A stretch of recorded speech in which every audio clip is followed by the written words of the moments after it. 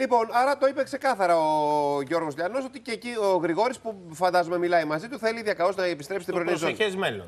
Ναι. Πάντω, κοιτάξτε, δηλαδή, θα σας πω κάτι τώρα. Αν ο Γρηγόρης, επειδή τελειώνει το συμβόλαιο του Γρηγόρη τον Ιούνιο, από ό,τι ξέρω, τελειώνει και το δικό μου το συμβόλαιο στον Ιούνιο. Και προφανώς ο Αντένα δεν ανήκει ούτε στο Γρηγόρη ούτε σε μένα, ανήκει στην οικογένεια Κυριακού. Το κανάλι αυτό που τις περισσότερες μέρες της εβδομάδας είναι πρώτος να πούμε φέτος ο Αντένα, έτσι. Και είναι πολύ μεγάλη επιτυχία αυτό. Λοιπόν, δυνητικά, αν τα δικό μου το κανάλι, γιατί άλλοι αποφασίζουν αν θα είμαι εγώ εδώ του χρόνου, αν και εγώ θέλω να είμαι εδώ του χρόνου κτλ. κτλ.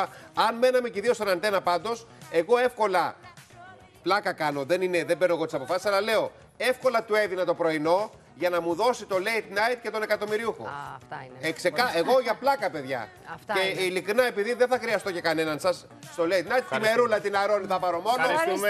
Τη μερούλα την αρώνει, η μερούλα μου. Μόνο εσένα να κλείνεις καλεσμένους. Εγώ είμαι, δεν θέλω κανέναν άλλο. Τη μερούλα.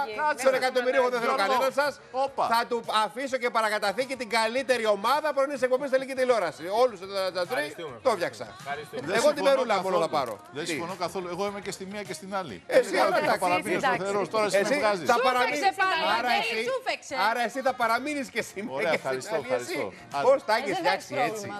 Πώς τα έχεις φτιάξει έτσι; Λοιπόν, Μέσα σε τι όλα. κάνουμε κυρία Οι δηλώσεις Ζωρκάδη σας. διαγωνισμό. Γεια σας κύριε συνάδελφοι, καλά σας. Χριστούγεννα.